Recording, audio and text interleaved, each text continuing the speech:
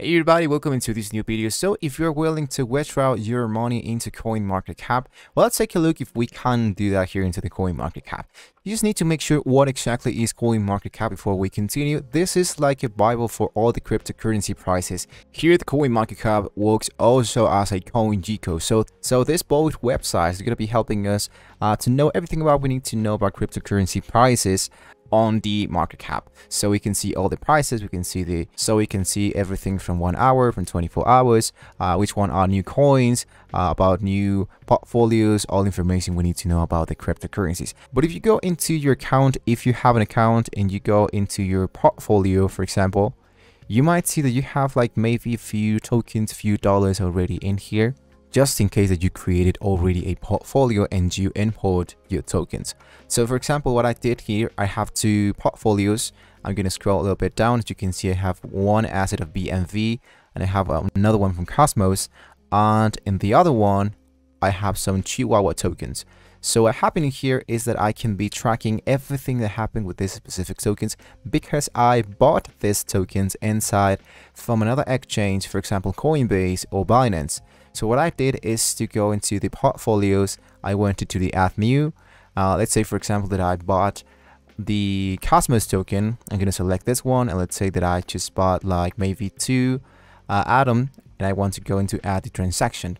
So what the application is going to be doing is it's going to be adding the transaction. So if I bought like maybe $2 of this token and let's say this happened like two weeks ago here it says amount and the price this is going to be the percentage that's going to be uh, telling me how much money that I just gained um, after I make the purchase so this is the value has been increased just a few from the day that I just bought it. So for example, here the Chihuahua token, I bought this, bought like maybe $3. I'm not pretty sure how much that I just bought. As you can see, I bought like $2 and now the value of all the tokens that I have available, it's less than a dollar. So that means that I just lost 71% of all the money that I just invest in this token. So now here I just have less than a dollar.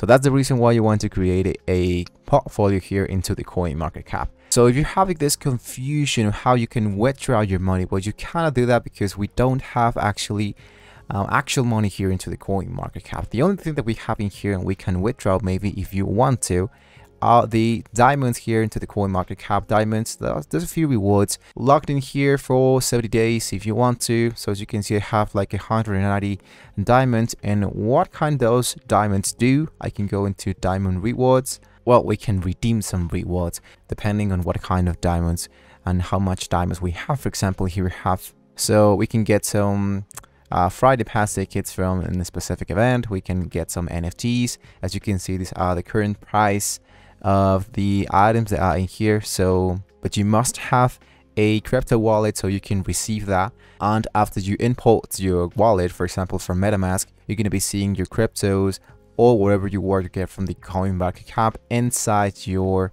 crypto wallet.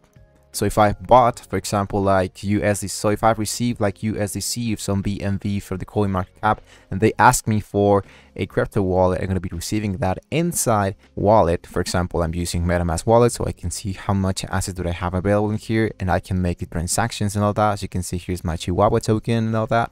But inside CoinMarketCap, they can only track whatever happens into all my tokens. So they so your money is not inside CoinMarketCap. There's just you're just creating a portfolio of all the tokens that you have available. So if you're interested in having this coin market cap on the website or download it into your new applications or download it into your applications, I'm going to leave you a link down below in the description so you can get diamonds totally for free, maybe up to 30 diamonds so you can redeem that into a few rewards that are available into the coin market cap depending on how much diamonds you earned into this application so Thank you so much for watching this video. Don't forget to like and subscribe, guys. And hopefully, I'll see you in the next one.